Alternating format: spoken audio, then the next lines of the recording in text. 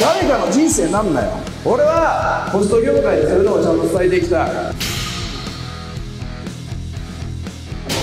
嬉しいななんか。せえな。そんな人。信じない救った！行こう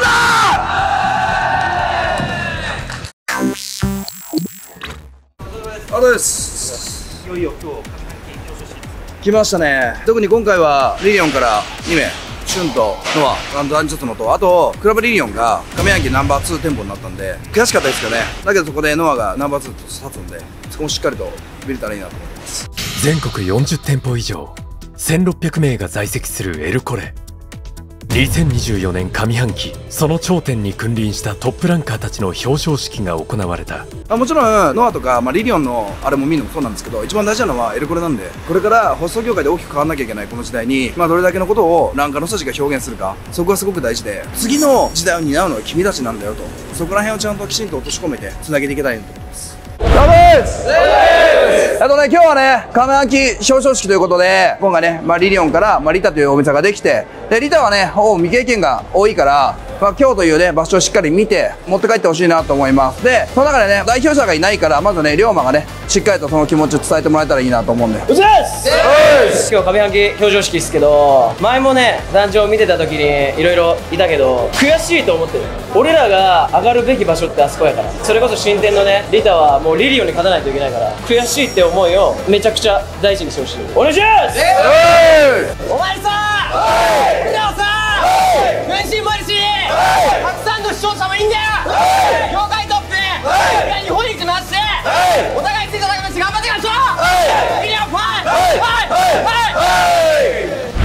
す今日はね、上半期表彰式ということで、ランカー陣がまあ立つ、そういうのをね、しっかりと見てほしいなと思います。今回、壇上に立ってる人たちを見て、すごいと思うけど、たった一人の人間だから変わんねえよ。何も変わんねえよ。俺はそこになれない、絶対思うなよ。なれるから。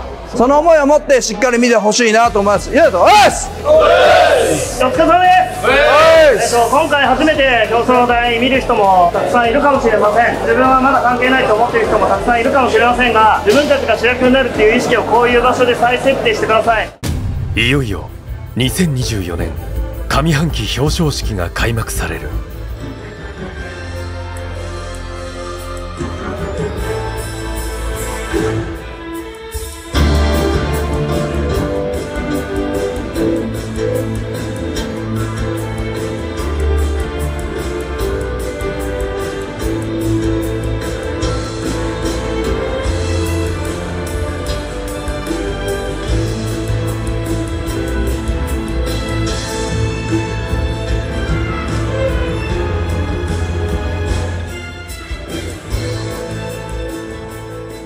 さあ、ここで、軍師、港いつきさんより、歌舞伎町 TV から皆様へと題し、お話をさせていただきます。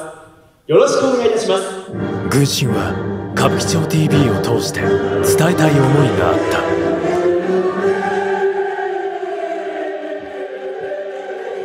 えー今回、あのー自分から伝えさせていただきたいことがいくつかあって、えーこの場を設けさせていただきました。ホスト業界って今どう思われてるよ。俺らってそんなに悪い奴らじゃねえよ。でも分かんねえよそんなの。伝わんねえんだもん。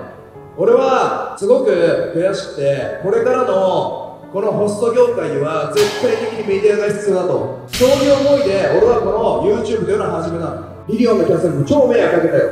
本当は教えなきゃいけない。マネジメントしなきゃいけない。でも撮影をしなきゃいけない。でもこのメディアが必ずこのホスト業界の未来を変えるし救う俺はホスト業界が好き。この日本が好き。だから怪我したくない。誰かの人生なんだよ俺はホスト業界でそういうのをちゃんと伝えていきた。い全力で生きてほしい。で俺は全力でやっていく。俺が今年引っ張っていくから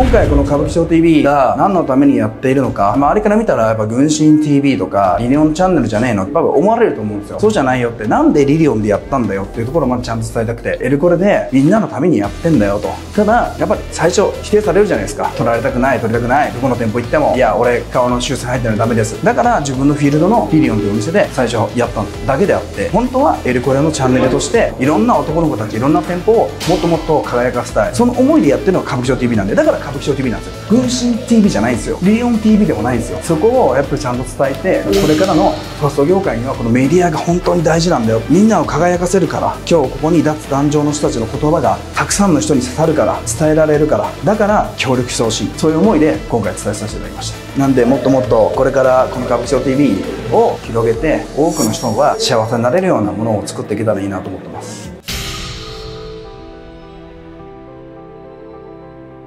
リリオンからは2人がランクインしていた。まずは憧れ続けたエルコレのランカーとして初めて壇上に立つことができたノア。第9位リリオンノア。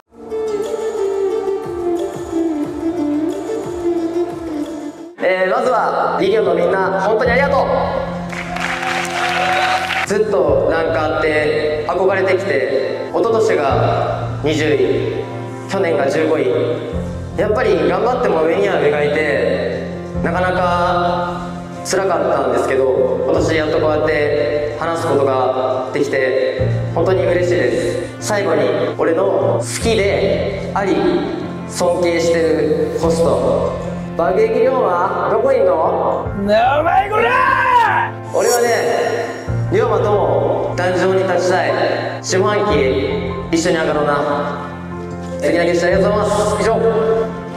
苦楽を共にしてきた2人は良きライバルでもあり仲間でもあった。龍馬と一緒に壇上に立ちたい。新たな目標を掲げ初めての壇上を締めくくった。ごめんな龍馬一緒に壇上上がるかなと思ったらいなかったから名前だけでも連れてこうと思って壇上に。帰ろうけど下半期は絶対乗るじゃんか。でもさそっからさ龍馬が今壇上立ってないわけじゃん。そっから年間に立ってみや。立ててないやつはあ諦めちゃってる。たくさんいると思うよ。でもそこが龍馬が立てば多くの人に希望を与えられるし。そうだね。どっちが上で壇上立つかだもんね。あのしで下半期。なんかでもねちょっとね嬉しすぎて泣きそうだったさ俺らは個人でも店でも確かに考えてる店だろうねインターン始まったばっかりやしな。まあ全てはさ俺ら月さんにお返しもあるし俺は取りますん。でやっぱ壇上上がってコメントしっかりしたかったですね。昨年の売上ランキングは20位。惜しくも壇上でのスピーチは叶わなかった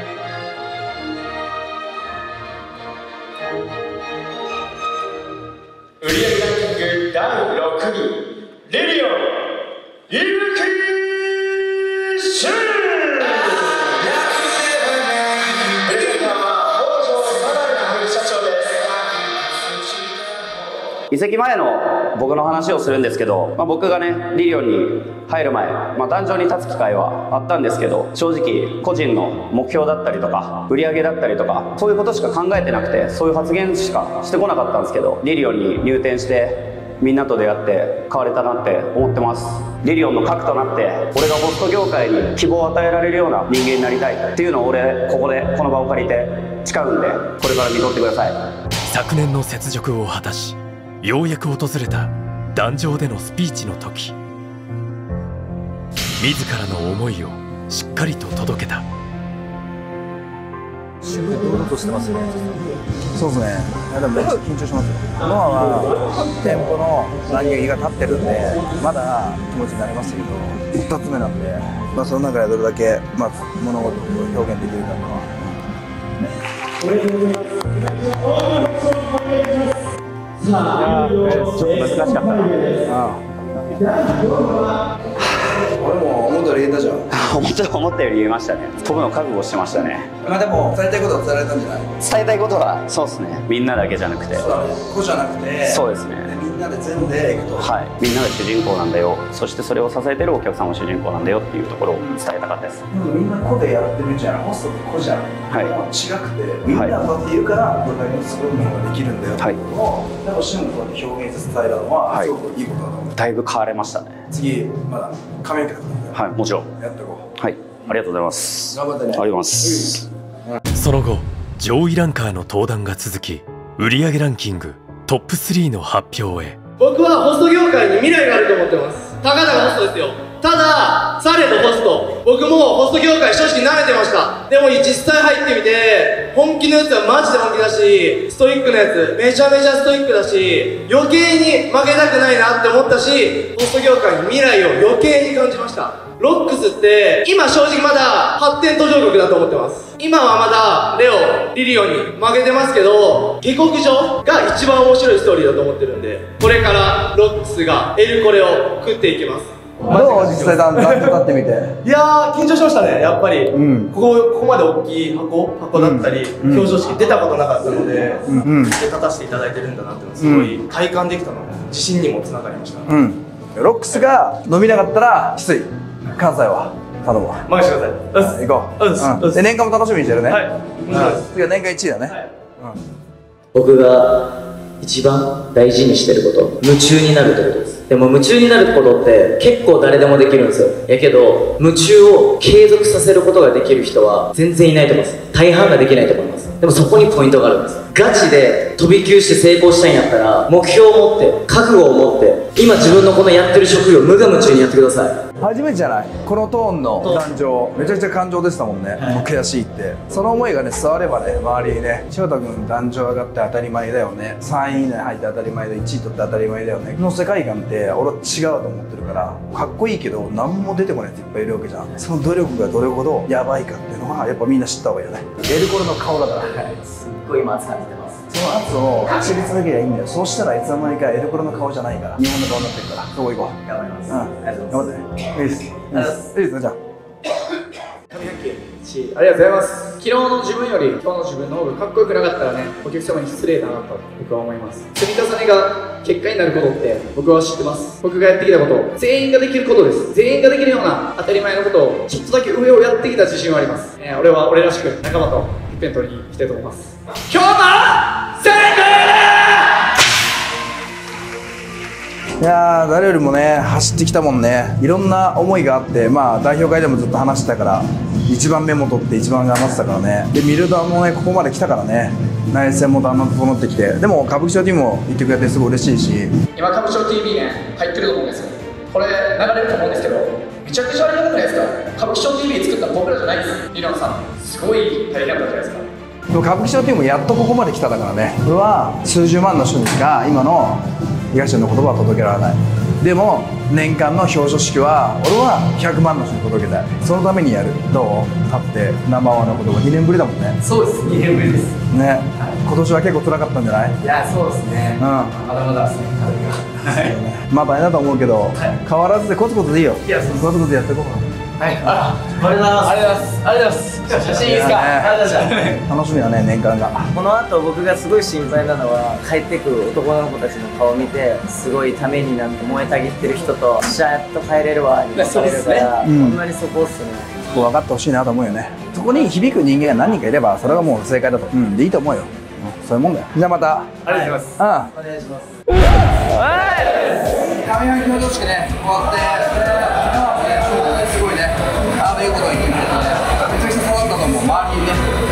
が言ったようにねあのみんなが主人公だよっていうのは忘れないでやってほしいなと思います。